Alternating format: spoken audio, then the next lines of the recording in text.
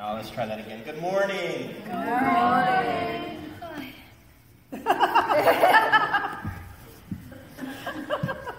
Boy, she says, Oh, I'm in church. I'm dressed as a Care Bear. I'm gone. That's why I said it. I'll give her a break. She had a rough, a, a very hard race on Friday, and she intend. I just got to say, before before we get started with this, we have two JV winners for Mohonasen Cross Country here in our church. Piper won the JV girls race, and Tim won the JV boys race. So. So uh, after that, I'm done. You know. No, I'm kidding. So I, I heard you come in this morning and say, "Oh, I've got a was it? I don't remember exactly, but basically, oh boy, I said, be he's in afraid. trouble Be now. afraid, but I Be was, very, be very afraid. no, um, I was kidding. You, are you I'm sure? Throwing you off. Are, are you sure? Because I I'm mean, sure. yeah, okay, all right. So I don't know what's in the box. Um, can I shake the box? Yeah, can you shake the box? You're sure? And it's Yeah. not alive. No, it's not. It's not anymore. Wow. It's not very heavy, but boy, whatever's in there is rolling around there a lot. All right. I'll let the Care Bear open it. Here, let's let the children's movie open it. Oh, it's a piece of ice. Whoa, hold Oh, I know it. It is wet. It's probably it is wet and cold. Just get up. That.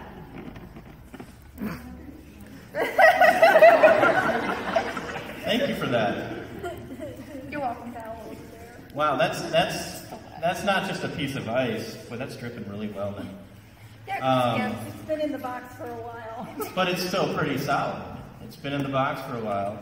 That's like a hockey puck there. It's a white hot. Um, whoever gets the box next might need a paper towel I for the have box. one here. Did not expect that. So yes, here, pass. Go ahead and pass that around. Yeah, I It's don't want it. cold, huh? I'm good. Thanks, though. yeah, front two row right there. it. Didn't to start a riot. Cold, right? You know, before I, I segue into what I'm going to say, I, I, before I get to what I say, ice is probably the thing that annoys my, my wife the most. I actually did a six credit college senior course on the material properties of ice. Oh wow. I got a B in it. I didn't do very much work. She was not happy with me. She's like, You're not doing any work. I'm like, Okay, you know, you know the professor. It's good to go. Ice is a really cool material.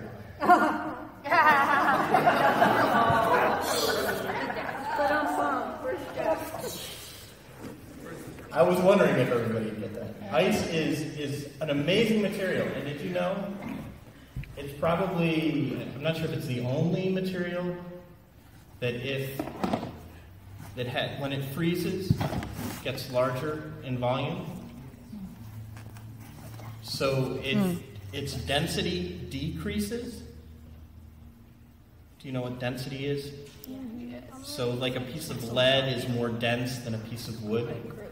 And what, because it is less dense than liquid water, what property does that allow ice to do? It floats. It floats. And think about that. Think about that. If ice did not float, what would happen in the wintertime? It would sink to the bottom of every lake, pond, river, and every body of water would freeze from the bottom up. And what would that do to every bit of wildlife, every fish, every seaweed? It would die in the winter. So water is clearly it is the thing that we need most to live, right? You all know that the water. If you go, you can go weeks and weeks without food, but you can't go much more than three or four days without water. But so water is the single most important material on earth, and it's mentioned many times in the Bible. But it's that feature that I like of ice floating to the top we, our planet would not survive if water did not have that material property to become less dense as it froze.